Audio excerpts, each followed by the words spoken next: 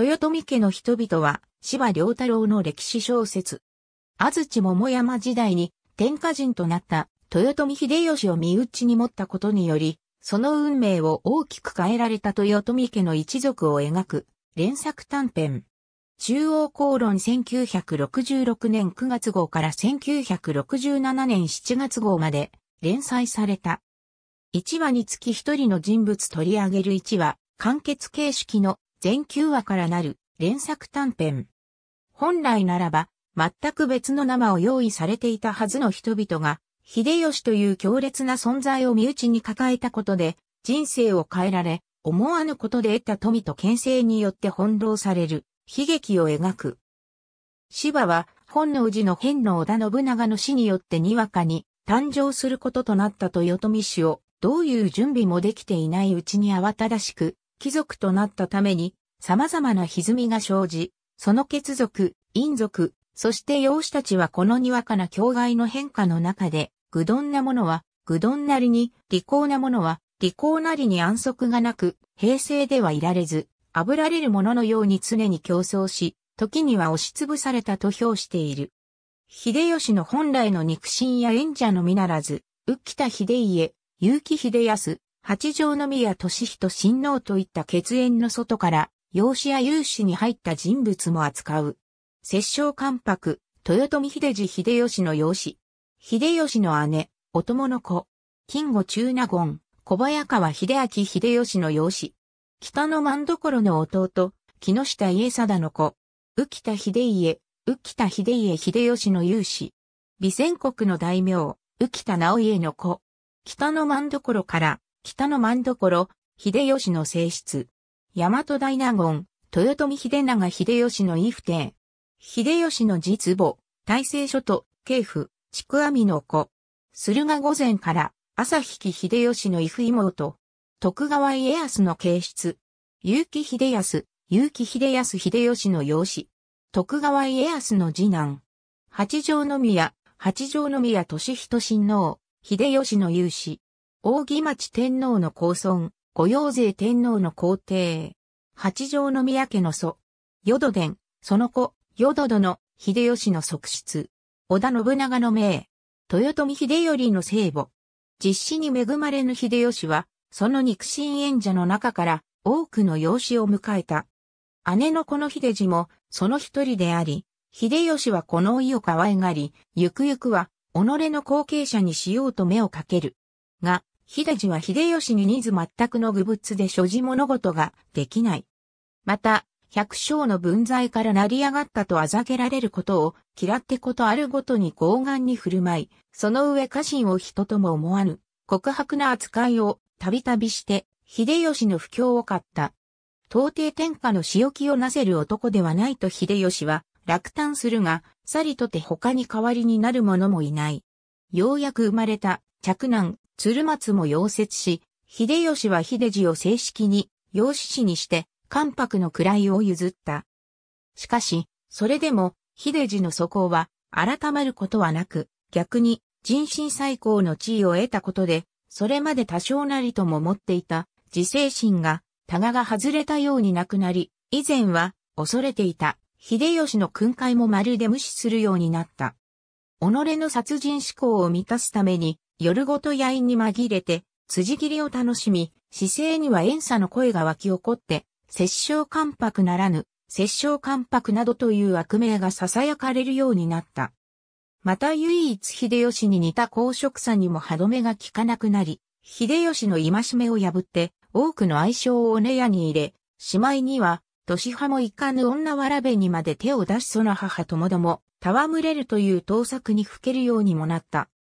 やがて数々の不行状を知った秀吉は上気を逸した振る舞いに驚愕し、折しも秀頼が生まれて、その存在が邪魔になっていたことから、秀治を断罪することを決める。秀治は切腹を言い渡され、その愛称、子息たちもことごとく経陸された。秀吉の力で水飲白章の境遇から引き上げられた秀治の姓は、皮肉にも同じ秀吉の手によって幕を引かれることとなった。この男もことごとく他人の手で作られた己の生涯の奇妙さを思ったのか、最後に自分の腹を切る刀は、わしの手中にあると言い残して果てた。秀吉の性質、北の万所は弟に生まれた、理髪な赤号機に入り、養子にもらい受けることを願い、秀吉も快く迎えた。いずれは、人角の人物になると、秀吉夫婦は大きな期待をかけるものの、この男児は、長鶴に連れてぐどんで勇騒ぎな振る舞いばかり、するようになり、元服して、秀明の名を得てからも容疑が改まらず、どうやら人並み以下の器量であることが分かってきた。それでも秀吉は秀明を可愛がり、与えた、エモン、ただしの官位の豆苗、金吾将軍から金吾と呼び、愛し続けた。金吾秀明はその後も、年少の身に不相応な官位を与えられ続けたが、その栄達は中納言まで進んだところで止まった。秀吉に実子の秀頼が生まれたためであり、途端に秀明は秀吉にとって実子を脅かす邪魔者となった。名族小早川氏の家督を継がせて厄介払いをしたものの相変わらず、秀明には強骨な振る舞いが絶えず、自分の死後誰かに担がれて、秀頼の天下を狙うとも限らないと危惧した秀吉は、いよいよこの不詳の養子を憎み始める。そこに目をつけたのが秀吉の死後の政変を見越した徳川家康だった。家康はすでに諸大名を手なずけ始めていたが、秀吉に疎まれた秀明にも接近して巧みに、その心を掴んだ。やがて秀吉が没し、天下は二分されて、関ヶ原の戦いの火蓋が切られる。秀明は西軍に属しながら、事前に家康に内容を約束して参陣するものの、西軍の提示してきた距離に心がぐらつきその挙手を決めかねていた。戦闘が笠海に入ってからもその気色は定まらず、豪を煮やした家康が鉄砲を打ちかけるや秀明は、慌てて東軍に味方し、戦の数勢は決まった。戦は東軍の勝利に終わり、天下の実権は徳川家に移った。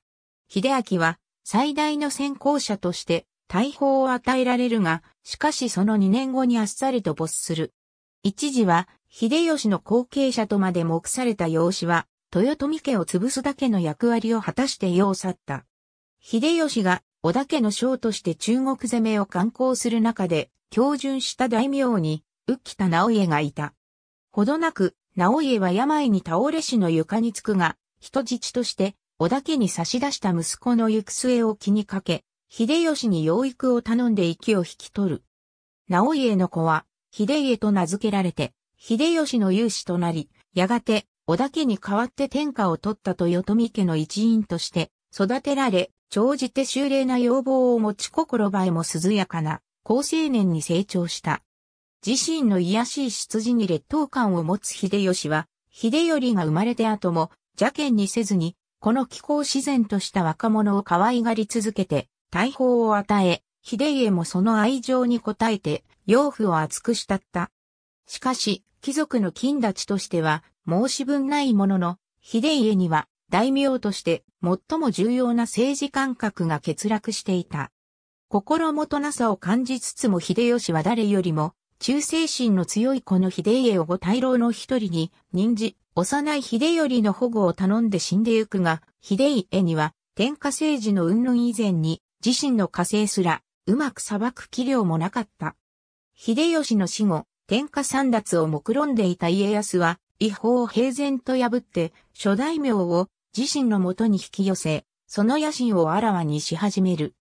秀家としては石田三成ら反家康勢力とともに、これに対峙すべきであったが、どころか家中の派閥争いを抑えられずに、家臣たちが大阪で騒乱を起こしてしまい、すでに関ヶ原を想定していた家康はその不祥事に、つけ込んで処分を下し、浮田家の家人を3割方削らせた。百戦錬磨の老練政治家の前では、愚直なまでに、豊臣家への忠説を果たすことしか頭にない。若造など全く相手にならない。秀家は、関ヶ原では西軍随一の大軍を率いて戦場へ出るものの、戦は始まる前から家康の巧みな外交謀略によって決しており、西軍は無残に敗北して天下の実権は徳川家に移った。関ヶ原終結後、秀家は八丈島へ流されて流人として、かろうじて露口をしのぐ、窮乏の中で暮らした。そして、関ヶ原の大名の誰よりも長く生き、秀頼も家康も当にいなくなった40年余りの後、この男は84歳で世を得た。秀吉の性質、北の万所は、少壮の頃から夫と苦楽を共にし、内助の功で秀吉の立身を見事に支えた。その聡明さは秀吉からも一目置かれ、人事をはじめとする政治問題の最良の相談相手ともなり、豊臣家の創建を大いに助けた。その恩和で活発な人柄は、多くの者たちを引きつけ、豊臣家中の誰よりも慕われたものの、伊佐坂郷里の終わり出身者をひいきにする向きがあったため、自然その周囲には、終わり出身者の罰ができるようになった。その一方で、新しく秀吉の側室になった淀殿の周囲には、近江出身者の罰が形成され、秀吉の淀殿への寵愛が深くなるにつれて、近江罰の県政が目立って強くなっていった。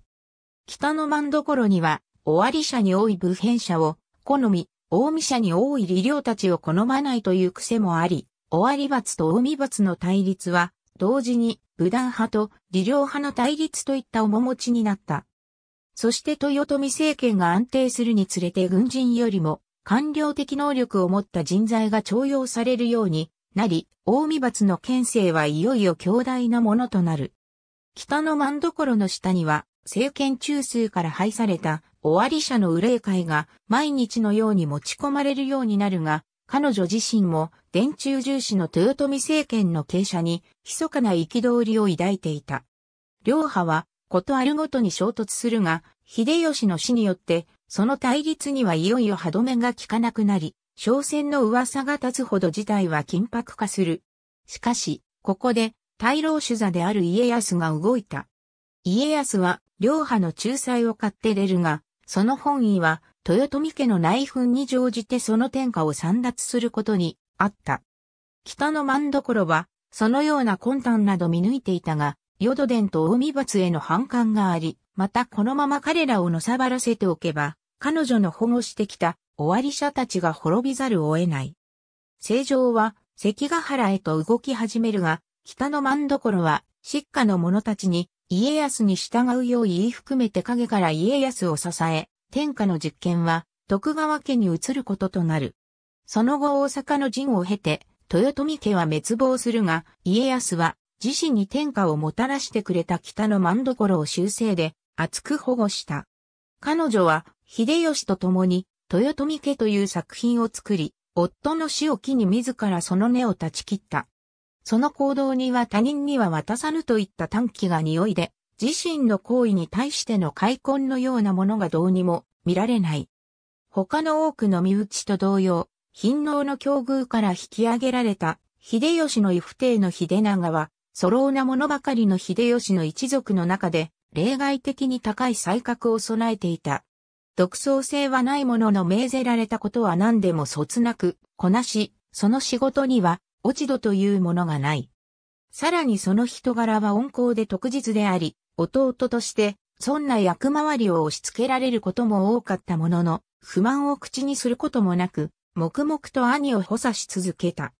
野心というものをまるで持たずに静かに自分を支えてくれる、この弟ほど秀吉にとってありがたい存在はなく、秀吉は秀長に対して誰よりも強い信頼を寄せた。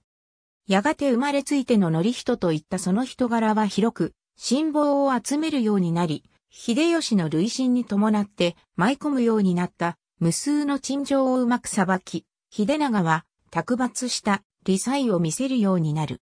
南地で有名な木の国の統治もよくこなし、同じく南仏で知られた大和国に違法された後は、こちらも見事に統治した。秀吉の見るところ、秀長は天性の調整家であった。大納言の官位を朝廷から賜り、大和大納言と尊称された後も数々の政治問題をうまく処理し、豊臣家は大納言で持っているとまで交換、称えられるようになる。しかし小田原征伐の直前に病に倒れ、ほどなく、秀長は息を引き取る。さながら秀吉の影のように生きた弟は、兄に先立って世を去った。後年、関ヶ原の戦い前夜に、豊臣家が分裂した際には、古株の家臣たちは、かの今日が生きておわせばと早すぎるその死を惜しんだ。秀吉の末の妹の朝日は、秀吉が織田や中で頭角を表しきた近江の大名に任じられた際に、百姓の境遇から引き上げられた。火に焼け土まみれで野良仕事をしていた朝日と、夫は、ともども強引に、秀吉の下に引き寄せられて、それまで夢にも思わなかった、御殿生活を始めることとなるが、朝日の夫は元来牛馬のように、おとなしい男で侍としてやってゆける才覚などなく、やがて環境の変化に耐えられずに衰弱して死ぬ。朝日は兄の取りなしで、尾張の名族に再演するものの、格式やら何やら、所持やかましい武家の生活に順応することができず、百姓だった頃の方が、どれほど気が楽だったかと泣くような思い出ごとびを過ごした。やがて本能寺の変を経て、信長の後継者としての地位を固めた秀吉は、天下取りに乗り出すが、その最大の障害は、東海を領する家康であった。その存在がある限り、四国や九州の平定に乗り出すことはできず、秀吉としては、何としてでも、家康を自身の幕下に組み込まなければならない。小牧、長久手の戦いの後、秀吉は得意の外交術を使って籠絡しようとするものの、自身の外交的優位を窒出する家康は一向に、標準の姿勢を見せない。工事果てた秀吉は、朝日を無理やり離縁させて、性質のいない家康に嫁がせ、義兄弟になることで家康を取り込むという奇策を考える。さらに母親の大政省も人質に出すと申し出るに及んで、ついに家康も折れ、秀吉の幕下に下った。秀吉に教準した後に家康はその居城を浜松から駿府に移し、朝日は以後、駿河御前と尊称されるようになる。しかしそれも長くは続かず、数年後母の見舞いに上洛した際に病に倒れ、そのまま回復することなく、息を引き取った。その死後、秀吉は、この発行の妹を憐れみ、供養塔を建てるなどして慰霊した。生前の朝日は、己の境遇について何も語り残していない。兄の立身につられて翻弄され続けた。この女性は和歌の一種すら残さず歴史の中で永遠の沈黙を保っている。家康が気まぐれで手をつけた次女から生まれた次男、およし丸は出生後も長く認知すらされず、不遇な境遇の中で成長した。家康にしてみれば望んで生まれた子ではないため、愛情など湧かず、小牧、長久手の戦いの後に、秀吉に教準すると、人質を欲した秀吉の下にまるで放り捨てるように送り届けた。およし丸は秀康の名を与えられて、秀吉の養子の一人として養育されるが、長鶴に連れて四人に稀な威厳が備わり、戦場に出れば三軍の指揮すら務まりそうな評官な若者に育った。秀吉は秀康を可愛がり、やがて北関東の名族結城氏の名城を継がせることにする。折しも新しく入法した赤八州の防衛上都合が良く、家康も諸手を挙げて賛意を示すが、その心内では秀康を恐れた。着男の信康が死んでいる以上は、徳川家の相続者は、本来秀康であるべきだったが、生死はすでに弟の秀忠に決まっており、秀康が家を継ぐことはできない。無論、養子といっても、豊臣家の家督を継ぐことは当然できない。その生い立ちのためか自尊心が強く育ち、自身への無礼は決して許さず年少のみで家来を手打ちにしたこともある秀康が、このような己の境外に満足しているとはとても思えず、家康はその自尊心を傷つけぬよう秀康と会うたびに、下にも置かぬ、低調な扱いをした。その後秀吉が没し、家康は天下の散奪を図って、正常を関ヶ原へと誘導し始める。聖子の秀忠以上の手柄を立てさせては、火星の乱れを招くという家康の判断から秀康は、小詰めに回され、金金大湯と噂されたその武勇を振るう機会は、訪れなかった。家康は秀康を恐れ続けた。幼少の右利に愛情をかけてやることもなく、捨ておいたことを恨み、いつか秀忠を害して徳川の家を奪うつもりではないかと常に危惧した。交換でもそのように見られ、家康が大阪を攻める際には秀康が、義弟の秀頼に味方するなどという流言まで流れた。しかしその機会は、ついに巡ってくることはなく、大阪の陣が勃発する前に秀康は病に倒れて死ぬ。何事かなすであろうと誰もが畏怖した。この男は結局何をなすこともなく世を去った。扇町天皇の皇孫、六宮は幼い頃から和楽の道で飛び抜けた才能を見せ、その芳醇な際は、神道とまで歌われた。やがて宮は信長から政権を引き継いだ秀吉が、当天軸にもない途方もない大きい大阪城を築いたという話を耳にする。同時に、城の一角に、ささやかな茶室を設けて、茶道楽を楽しんでいるとも聞き、大きの片隅で二畳ほどの広さしかないという茶室を営むとは、いかなる風情だろうと、宮は大いに関心をそそられるが、しばしの後に、秀吉が黄金ずくめの茶室を傾向して御所に現れた。生命さを胸とする公家の美と全く異質な絢爛を極める美意識に初めて触れた宮は、その活達な人柄も相まって、秀吉に強く魅了される。秀吉も宮置に入り、かねてより皇族を豊臣家に迎えたいと望んでいたことから、すぐさま創生し、宮は秀吉の勇士に迎えられる。やがて宮が元服し、俊人という名を賜り、親王を宣言された頃、秀吉に実施、鶴松が誕生して、宮は皇族に復帰することとなるが、秀吉は宮への花向けとして八条河原に屋敷を送り、八条宮という新しい宮家を創設させることにした。秀吉は多忙であまり造営に関われなかったが、宮はこれをきっかけに建築に関心を持つようになる。そして時は流れて秀吉が死に、関ヶ原を経て、天下の覇権は家康が握ることとなった。家康は近畿諸賀に全く関心のない男で、宮中の天下もまるで理解しない。どころか天使を尊崇もせずハットを押し付けて、公家社会をがんじがらめに縛り上げ、宮中はまるで火が落ちたように寂しくなった。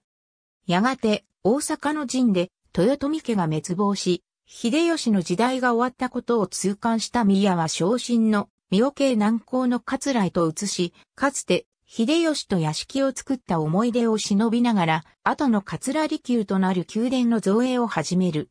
宮の表現によれば、売り畑のカロキ茶屋であるものの、その美しさは広く喧伝されて、世に知られた。その高級は50歳でこうずるが、折しもその死からほどなく家康の病所である、日光東照宮が造営される。後年、東照宮における徳川家の美意識と、桂御所における宮のそれとは、さながら美の対局のように取り沙汰されることとなる。幼少期に二度も落城を体験し、その地獄絵を目に焼き付けながらも二度とも生き延びた、信長の命、ちゃちゃ。しかし数奇な運命はそれで終わらず、不思議な巡り合わせの後に彼女は二度とも、工場軍の指揮を取った、秀吉の側室となる。秀吉の寵愛ぶりは、ただごとではなく淀川のほとりに新しく城を築いて、与えるほどであった。以後、淀殿と尊称されるようになった茶々はさらに生死の秀頼を生んだことで、豊臣や中で確固たる地位を築くこととなり、折しも尾張出身者と近江出身者の対立が激しくなっていた最中、尾張者たちが性質の北の万所を頼んだのに対し、近江者たちは彼女の下に集まって刑罰が形成されるようになる。とはいえ、淀殿自身には、近江者を集めて、牽制を振るおうなどといった意思は、かけらもなかった。彼女はそうした政治的構想を理解する力を、生来持っておらず、足元で日々繰り返されるいさかいが己と愛足の運命に関わる可能性など考えもしなかった。やがて秀吉が死んで、両罰の圧力は頂点に達して、豊臣家は二分され、かねてより天下三奪の機会を伺っていた家康が混乱に乗じて関ヶ原の戦いを誘引させ、政治的査術で天下の実験を鮮やかにかすめ取った。しかし、淀殿の反応は鈍く、この戦の重大性を理解できず、戦後もしばらく、豊臣家が一代名に転落したことすら気づかなかった。由来、淀殿は、政治という霊理な神秘と、細理な心配りの必要な思考ができない。不幸にも運命が彼女をして、その思考の場に立たせているのみであり、その中で、あり合わせの情念のままひたすらに振る舞ってきたに、過ぎなかった。所持において、信長の命という己の地の尊貴さと、猛愛する秀頼を中心に据えてしか物事を考えることができず、卓抜した地望で乱世を渡ってきた家康にとっては、相手ではなかった。豊臣家の滅亡を図る家康は、時になだめ、時に恫喝し、手のひらで転がすようにして徐々にその力を削いでいった。やがて正常は、大阪の陣へとなだれ込みついに最終決戦が始まる。ものの、大阪城内は相変わらず、政治も軍事もわからぬ、淀殿のいい様に振り回され、諸将よりも、助官たちが力を持ち指揮系統を横断するありさまであり、兵たちの士気を大いにくじいた。果ては、左略とも言えぬ子供魂の手段で堀を埋め立てられ、かつて東洋一の大城祭と歌われた大阪城は無残にも裸白にされてしまう。追い詰められた末、淀殿は愛足ともどもに果てた。秀頼には自制も何もない。戦の最中、豊臣兵たちは再三その出馬をこうたが、その度に淀殿の堅くなな反対にあって、結局実現しなかった。秀頼はその短い生涯のうちにその人柄や心かよを推し量る何者をも残さなかった。おそらくはその死も海添が手を貸し、是非もなく死に至らしめたに違いない。このようにして、この家は滅んだ。豊臣一族の映画は、さながら、秀吉という天才が生んだ一平の幻影のように、現れ、消えていった。大型時代劇スペシャル、愛に燃える戦国の女豊臣家の人々よりのタイトルで TBS テレビにおいて1988年4月2日夜21時3分23時48分に放映された。本作の第3話、浮田秀家に登場する秀家の母、お福を主人公として彼女が辿った数奇な人生を描く。作中ではお服はわずか6ページほどしか登場しないが、脚本家の太陽子が芝の協力を得てドラマ化した。ありがとうございます。